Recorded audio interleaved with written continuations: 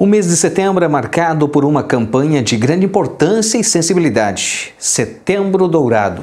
Essa iniciativa visa aumentar a conscientização sobre o câncer infanto-juvenil, promovendo informações essenciais sobre os tipos, sinais, sintomas, prevenção e tratamento dessa doença que afeta crianças e adolescentes em todo o mundo. Luciane Sesca, membro da Rede Videirense de Combate ao Câncer de Videira, fala sobre as ações que estarão sendo realizadas neste mês alertando aos pais aos sinais e diagnóstico precoce dessa doença. É um mês que a gente trabalha bastante focado no diagnóstico precoce do câncer infanto-juvenil. É, a gente sabe que às vezes os sintomas e sinais eles são sutis, às vezes não fazendo a pessoa pensar que pode estar acontecendo esta doença. Nesse mês a gente tem trabalhado com muito material. Nós estaremos distribuindo nas escolas em torno de 10 mil flyers para que cheguem nas mãos de todas as famílias.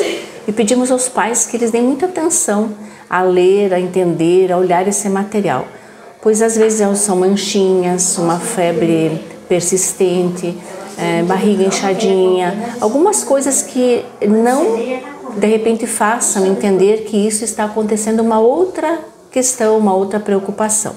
Então, nesse mês, a gente traz bastante esse interesse, esse alerta para profissionais, professores, eh, pais, para que a gente tenha maior conhecimento sobre esses sintomas e sinais, para que a gente possa ter como diagnóstico precoce, para que tenha altas chances de cura. Médico pediatra Dr. Luciano Madeira Silveira fala também sobre os sinais e sintomas variados que podem ocorrer e alerta os pais ficarem atentos e que, caso ocorra algo anormal, procure atendimento médico.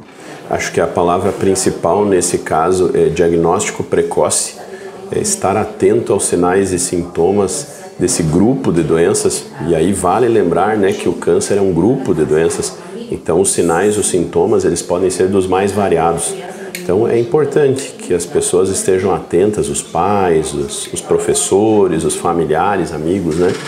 para ter essa visão, esse olhar né, para a criança quando ela está desenvolvendo de repente ali uma dor de cabeça, é, manchas roxas no corpo, algum tipo de sangramento, é, gânglios no pescoço ou em outras regiões do corpo, né, que são alguns dos sinais é, que são importantes de estarem sendo é, visualizados, presenciados, para que chegue até o atendimento médico para que esse tratamento seja feito o mais precocemente possível.